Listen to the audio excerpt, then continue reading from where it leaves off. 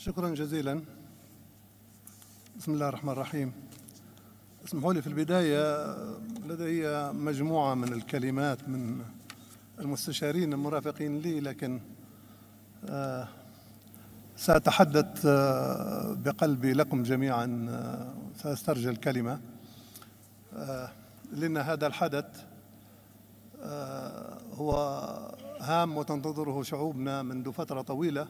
كما أشار السيد رئيس إندونيسيا بأن مناطقنا أو أو عالمنا كان يفتقد إلى القادة وهذه المجموعة الخمس والتي تمثل القادة الجدد ل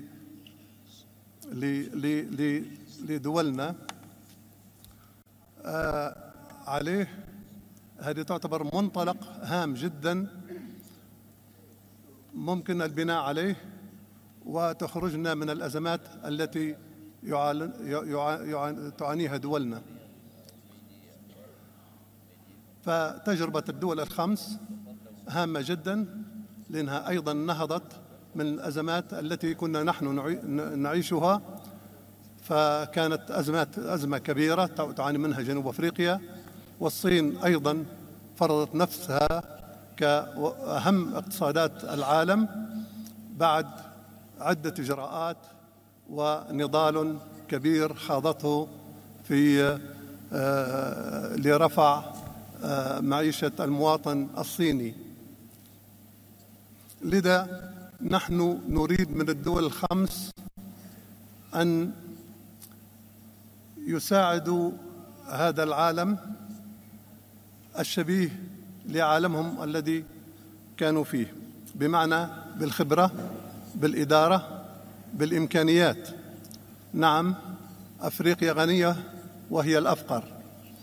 إذ في أفريقيا يباع الكيلو الكاكاو بدولار لكي تشتري قطعة من الشوكولاتة ب 15 دولار. بمعنى نحن محتاجين إلى الصناعات التحويلية.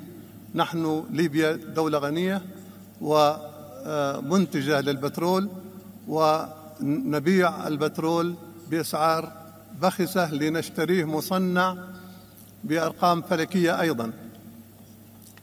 لذا نحن أحوج ما نكون لأن آه، نغير إدارتنا لمؤسساتنا ولأموالنا. بمعنى ما ينقص ليبيا ليس الأموال بل تنقصها الإدارة الحكيمة وأيضا مكافحة الفساد المستشري في معظم دولنا ولهذا لابد من الاقتداء من الدول الخمس لمعالجة آه، هذا الأمر الهام والمؤثر جدا على عدم نمو دولنا. إن شعوبنا الآن لا تنتظر منا أن نلقي الخطب أو أو ندغدغ العواطف بقدر ما تنتظر منا شيء ملموس آه، تراه على على على الأرض. لذا هذا التجمع الكبير آه، ولقائه اليوم مع مجموعة البريكس يعني أن نحن ندعم هذه المجموعة بل نستعد الجميع للانضمام عليها. ولا يعني هذا بأي حال من الأحوال استعداء أي طرف كان أو أي طرف خارج هذه المجموعة أو محاولة آه، خلق عداوات مع أطراف الآن قد تتهجم على هذه المجموعة أو ما تحاول القيام به من تنمية وقيادة حكيمة آه، لشعوبها. نحن في ليبيا كما تعلمون صبر الشعب الليبي طويلا ثم انتفض. وكما ترون في دول الساحل أيضا الشعوب تنتفض يوميا وهناك الكثير من الدول قد يحصل فيها ما حصل في ليبيا أو غيرها. عليه لابد من معالجة هذا الأمر من الأساس وهو توفير الوظائف. أقول توفير الوظائف وهذا موجه للدول الأخرى التي يهاجر إليها أبنائنا. نحن لسنا سعداء. بأن يموت أبنائنا في الصحاري وفي المناطق التي تشهد آه، اقتتال ويتعرضون للخطر أو يموتون في البحار أو يتشردون في شوارع أوروبا.